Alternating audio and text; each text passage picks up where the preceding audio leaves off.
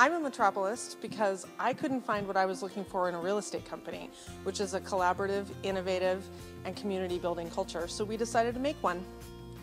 I'm a Metropolist because we know that selling houses is really building communities.